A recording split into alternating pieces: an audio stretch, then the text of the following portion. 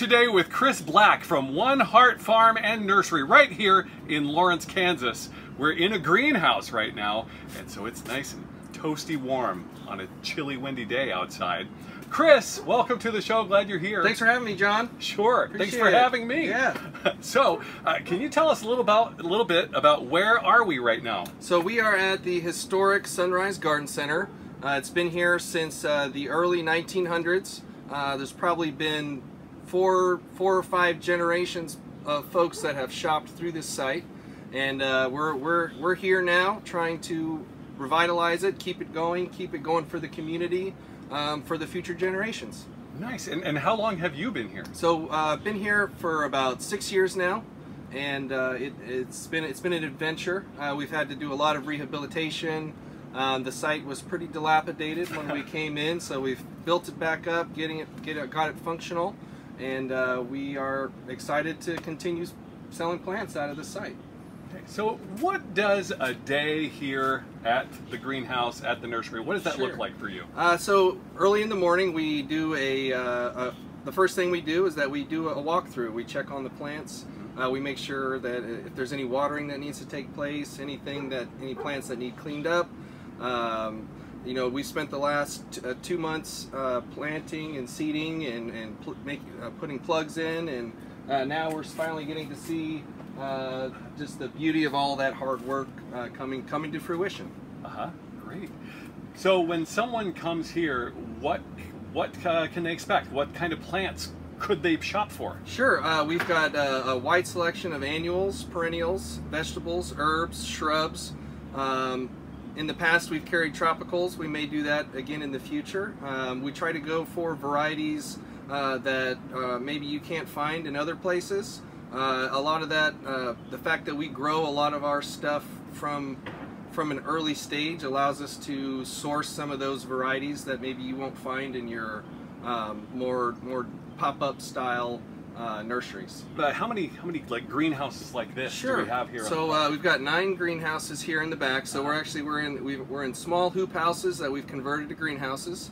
Uh, we used we've run out of the main houses in the past, but for the last this year and last the last time we were open, we are just trying to stay focused here in the back. Mhm. Um, it's uh, it allows us uh, a really ideal growing environment in these small these small hoops, and uh, gives us uh, kind of little microclimates Yeah. where we can we can place plants where they really like to be and, and put them together with, with other similar plants.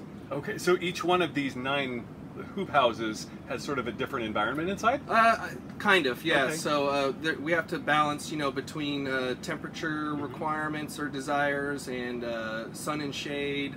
Um, so you know, some houses we keep hotter, like our tomato and our pepper houses. Um, some of the annuals prefer it hot, and then we have to, you know, keep the shaded plants well shaded and uh, a little cooler than than the rest. So we kind of have a nice terrain back here. It allows us uh, to really, really uh, give the plants what they really want. Yeah. So, Now, how did you find yourself in the business of growing things? so um, it kind of just fell into my lap. Of, you know, there was this site had been uh, repurchased by the current landowner, and they were looking for tenants uh, and uh, just wanted to, to see a business plan. And so I put a business plan together, and was fortunate enough to have the the old. Um, manager of this site, uh, Donna Gardner, who ran the uh, Sunrise Garden Center for over over a decade. She basically uh, took me under her wing and showed the ropes on how to how to manage and and uh, maintain a healthy environment and, Mhm. and and provide what the plants need and also kind of uh, an understanding of exactly what people desire for their gardens. Yeah. It's been really well. It's worked really well so far. Uh, you know, we've had our struggles in the past, and it takes time to really get the hang of uh, this industry and this business. But uh, we're at a good place now where we have solid programs that we just run, and as long as we stick to those, everything uh, seems to turn out pretty well. What should people be doing this time of year Oh, sure. at their homes? Sure. So uh, you know, now's the time to be cleaning up. Uh, you know, last year's perennials that um, that have you know taking taking off that old growth, Mhm. uh, making plans, getting getting kind of mapping out your spaces, um, getting a getting an idea of the um, you know the the light requirements and and uh, you know different different types of environments in your yard and, and coming up with a plan of uh, plants that you that will fit in those spaces. Mm-hmm. Um, it's a great time to start planting the early early season perennials. Uh, we have like right now some beautiful columbines that are blooming, and so people are you know focused on the early bloomers. People are always looking ahead and making sure that uh, timing is right for, for what it is that they're trying to do with their garden. So is it almost time to put things in the ground? It's it's it's if you, if you can manage it and you know how to protect the plants, you can Uh-huh. go ahead and stick a lot of stuff in the ground. It looks really nice. Um, you know, sometimes people jump the gun, and uh, that's okay. But uh, it- it's a good time to start planting your your early season uh, cold hardy perennials.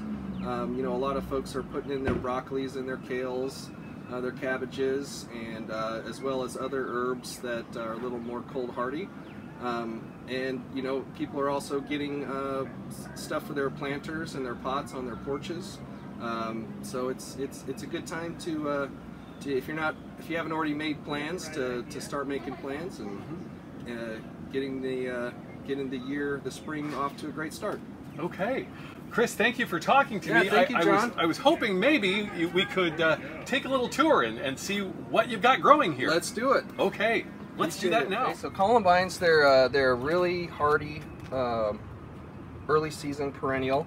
Uh, they they like to multiply, so you know you can get one, and then the next year, probably you're going to have quite a few more after, after from then on out. So uh, they're, they're a beautiful bloomer. We've got some nice, unique varieties that maybe you ha- that make great talking points. Uh, you know, with your friends if if uh, because they're just they're just dainty and unique and um, they'll probably they'll fill out to about you know uh, maybe about this size in foliage and then they'll put they'll put the blooms on through most of the spring into the early summer and so they're a great way to uh, to get some um, some really amazing color early in this early in the season in your Mhm. perennial garden If someone's brand new to gardening, okay what's a good place to start?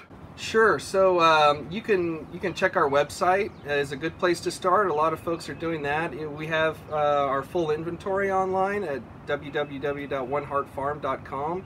Um, it, it can give you a chance. I was talking about planning uh, to kind of go through the plants. You know, from your from sitting at your desk and uh, getting an understanding of exactly what to expect and what each plant uh, will require or where maybe you'd like to put those beautiful flowers at in your yard. And and so uh, you know there's with the informational age today there's so many resources online um, to to gain to gain that knowledge and that information. You know always got master gardeners groups are great um, and just really folks with experience as well that uh, are always fun to talk to and generally uh, are more than happy to share their knowledge and their wisdom with the next generation of growers. Uh, the first annual colors that you'll get are, are uh, pansies. So a lot of folks are, are going straight for the pansies. They're a lot, little more cold hardy, and so they can take these uh, these early spring cold cold nights a little better than anything else can at this point.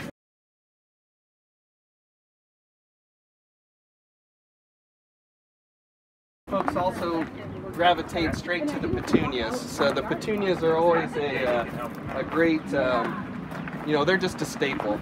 And so here at One Heart Farm and Nursery, we really like to carry a kind of an eclectic variety of petunias. And uh, they're all just now starting to bloom out real well. And so go ahead and take a look, walk down there, John, and get a good look at uh, all the varying uh, colors that uh, the petunias come in. You know, it's they've really, with through breeding, they've come up with some amazing uh, and unique color combinations, and really uh, just kind of showstoppers, right? And, These are, look at that, that's fabulous. Yep, and so you get into these uh, these varieties, and they, they just grow prolifically, you know. And, and one tip on your petunias is that you really throughout the throughout the season is to uh, you know fertilize them uh, probably once every week or two, and then anytime that you see a dead uh, a spent bloom uh, that's past its prime, we want to take it back all the way back to that stem, and so we're a lot of folks, early gardeners, will make the mistake and they'll just pull this part. Uh, go ahead and take it back all the way to the stem, and that's going to promote that plant now to, to start a whole new cycle of blooming. So it'll push new buds, and uh, so that's a great that's a great tip. And these these things will bloom all the way through the summers. So they're they're a they're a real staple for um, pots and uh, and beds. So you can have more than just flowers the one time then. Yeah, yeah, absolutely. Yeah, it takes just a little bit of work. Uh, just really just taking those blooms and uh, if you start to see the plant, you know, losing some of that that that dark green color, just giving a little bit of fertilizer, just to uh, some blooming fertilizer, just to help uh, keep that process going. So. Do you have blooming fertilizer here? No, we actually we don't sell okay. fertilizer. we probably should, right? We uh, we'll actually we'll have some uh, Happy Frog. We'll have some organic uh, fertilizers in. Yeah. Uh, probably in the next few weeks. Uh, so uh, we'll give those a shot and see how those get how those do. Do. I haven't seen very many black flowers in my life. Yeah, those are a really unique newer variety called Black Mambas and they are, you know, jet black, satin black. So they are they are uh, really unique and again a, a beautiful addition to uh, and talking point in your garden.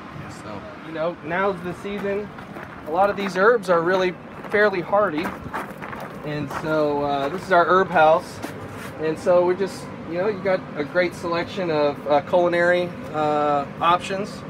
Um, things to, to spice up your your spring meals you know, a lot, a lot of, a lot of things are going to start becoming available to uh, for cooking again here from the farmers markets and stuff like that with the early season crops. So it's good to have a nice uh, selection of herbs to uh, spice things up. One Heart Farm and Nursery is located at 1501 Learnard in Lawrence in the historic Barker neighborhood. Go back behind this building until you see these greenhouses and you'll find the farm. Thanks again to Chris Black for giving us a tour. Go see Chris, get some plants. Good morning, Lawrence, and welcome to Thursday, April 14th. I'm Dave with the Lawrence Juice, here to bring you a few highlights from our to-do list. Not only is this National Gardening Day, Today is Look Up at the Sky Day, as well as Reach as High as You Can Day. Around Lawrence, this morning at 10 a.m., you can catch Coffee at the Commons on KU campus, featuring naturalist Terry Tempest Williams, reflecting on the connection of these to matters of justice. This event will be on Zoom, and you can go to the KU calendar to connect. To get more information or ask questions about possible new bus routes, you can attend Lawrence Transit Tabling with maps and materials at 7th and Vermont between noon and 1 p.m. The Small World Lawrence English as a Second Language for International Women will be held at Presbyterian Church on Clinton Parkway between 1 and 2.30. A fundraiser at Lawrence Beer Company in East Lawrence will benefit Stepping Stones Early Learning Center. A portion of all sales, both food and merchandise, will go to the school. The fundraiser will begin at 4 p.m. and end at 9. As part of the KU School of Music Student Recital Series, Bennett Morgan will present a clarinet recital at Swarthout Recital Hall at 5 p.m. The continuing Free State Festival presents False Negative, an evening with John Waters at Liberty Hall at 7 p.m. tonight. The 2022 Dole Lecture will be given tonight at 7 p.m., both in person at the Dole Institute and online. Featured speakers are Walt Riker and Clarkson Hine. For entertainment this evening, you can enjoy Country Night at venue 1235.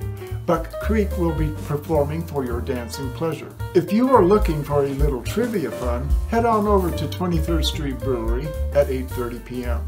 The complete to-do list can be found in the Lawrence Juice, which comes out every other week. You can find your copy at the Lawrence Public Library, Jungle House, and many other places around town. You can even go to lawrencejuice.com to find our flipbook or to go to our live calendar page. It's time once again for the cute pet of the day, brought to you by the Guild Theater in Lawrence, Kansas. Today's cute pet is Eliza Louise Dykes, who lives with friends of the show, Bob and Emily Dykes, in Bonner Springs, Kansas. Ellie was mauled by another animal at eight weeks old. She was rehabilitated by the Kansas City Humane Society. One of her legs had to be amputated, and another one is unusable. But she lives a very normal life with Bob and Emily and their family. Ellie scoots across the floor. Emily says it's pretty funny and it's surprising how fast she is. Ellie lives with big brother Oscar and crazy uncle Shadow. Keep those cute pets coming. Send them to us via messenger or by email. The only way we keep the show going is with your help. Advertise with Northeast Kansas at Home, or if you're just a person, get a membership. $24 helps us for six whole months.